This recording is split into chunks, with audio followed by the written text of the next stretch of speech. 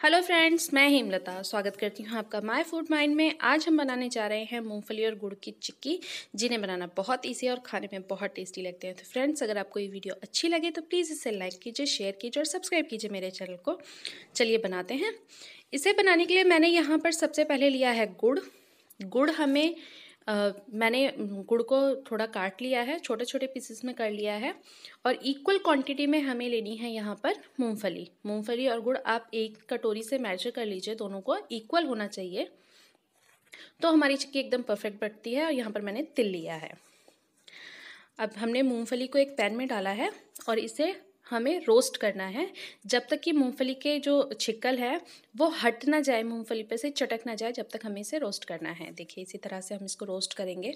लो flame पर, medium flame पर हमें इसे रोस्ट करना है, लो मीडियम फ्लेम पर। ये देखिए, इसको अच्छी तरह से हम लगातार चलाते हुए इस रोस्ट करेंगे। ये देखिए, छिक्कल जो है, सारे चटक चुके हैं।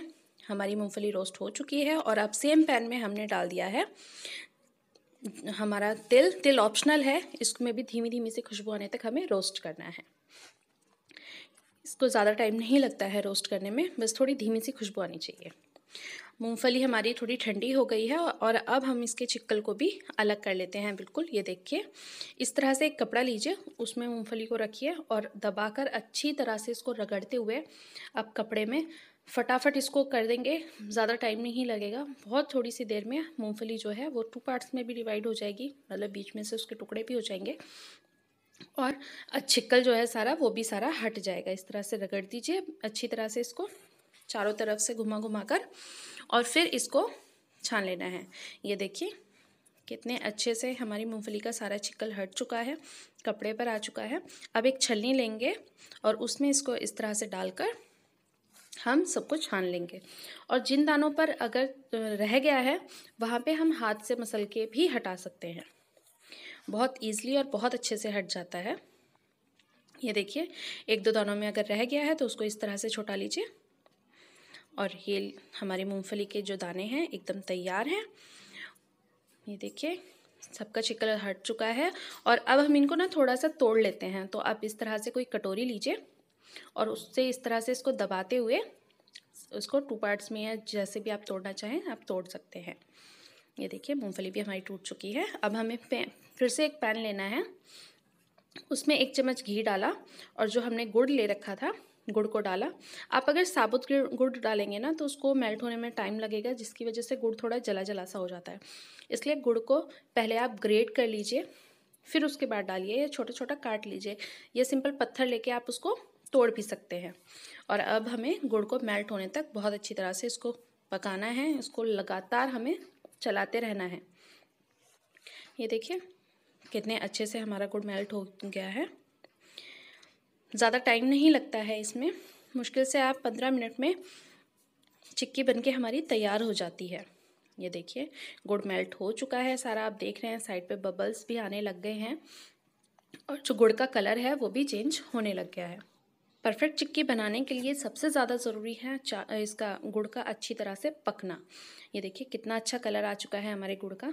हम अब इसे चेक करेंगे एक बारी कि गुड़ हमारा अच्छी तरह से पका है या नहीं पका है।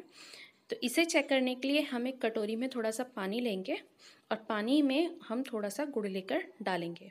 और अब थोड़ी देर के लिए इसको थोड़ा हम इसमें रहने देते हैं। जब तक हम इसको गैस को हमने बिल्कुल लो फ्लेम पर कर दिया है और इसको अच्छी तरह से, इसी तरह से हम मिक्स करते रहते हैं। ये देखिए, हमारी जो गुड़ है वो थोड़ा ठंडा हो चुका है जो हमने पानी में डाला था, अब हम उसे देखते हैं उठाकर। अगर ये आराम से टूट रहा है, ये देखिए, ये थोड़ा अभी आराम से, ये टूट भी रहा है और काफ़ी जगह पर नहीं भी टूट रहा है। तो मतलब अभी हमें इसे कोई एक मिनट के लिए थोड़ा सा हम इसे अभी और पकाते हैं। जब गुड़ बिल्कुल आराम से टूटने लग जाए ना तो समझिए कि हमारा गुड़ एकदम तैयार है मूंगफली डालने के लिए। ये देखिए, मैंने करीब इसको एक मिनट तक और भुना है और ये देखिए, कलर कितना अच्छा हो गया है इसका। और अब हम इसमें डाल देते हैं हमारी मूंगफली, जो हमने मूंगफली साफ़ करके रखी थी, हमने वो मूंगफली डाल दी है इसमें। और इसको बहुत जल्दी जल्दी, अच्छी तरह से हमको मिक्स करना है। ज़्यादा टाइम नहीं लगाना है, ये सेट होने लग जाता है, वरना ये देखिए, इसको इसी तरह से मिक्स कर दीजिए। ये देखिए, मैंने सबको अच्छी तरह से मिक्स कर दिया है, गैस ऑफ़ कर दी है और अब हम इसको ट्रांसफ़र करेंगे। ट्रांसफ़र करने के लिए सबसे पहले यहाँ पर एक प्लेट में किसी भी बर्तन को आप ग्रीस कर लीजिए, थोड़ा सा घी लगा दीजिए और बेलन पे भी घी लगा लीजिए क्योंकि बेलने में हेल्प होती है। और फटाफट इसको ट्रांसफ़र कर दीजिए और फिर इसको शेप में ढाल लीजिए। इसको जिस शेप में आप इसका बनाना चाहते हैं, उस शेप में इसको बना लीजिए। आप इसको गोल गोल भी बना सकते हैं किसी कटोरी में। डाल के गोल भी बना सकते हैं या फिर इस तरह से, जिस तरह से मैं बना रही हूँ, आप इस तरह से भी बना सकते हैं। इसको सिंपल प्लेट में फैलाइए। स्क्वायर शेप में डालिए आप इसको। और फिर बेल दीजिए इसको थोड़ा सा पतला कर दीजिए। जितना पतला आपको चाहिए, आप इसको इतना पतला कर दीजिए। इस तरह से देखिए, हाथ से बहुत ईजिली सेट हो जाता है और फिर बेलन से इसको बेल लीजिए। ये देखिए कितने अच्छे से हो गया और कितनी अच्छी शाइन आई है। और इस पर अब मैं तिल डाल रही हूँ। तिल आप ऑप्शनल है, आप डालना चाहे तो डालिए, अगर नहीं डालेंगे तो भी बहुत टेस्टी लगती है ये खाने में।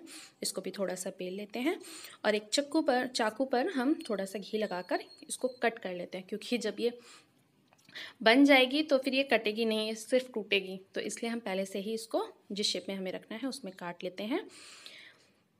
और इसको फिर एक घंटे के लिए हम इसी तरह से रख देंगे। ताकि ये सेट हो जाए अच्छे से। फ्रेंड्स अगर आपको ये वीडियो अच्छी लगी हो तो प्लीज़ इसे लाइक कीजिएगा शेयर कीजिएगा।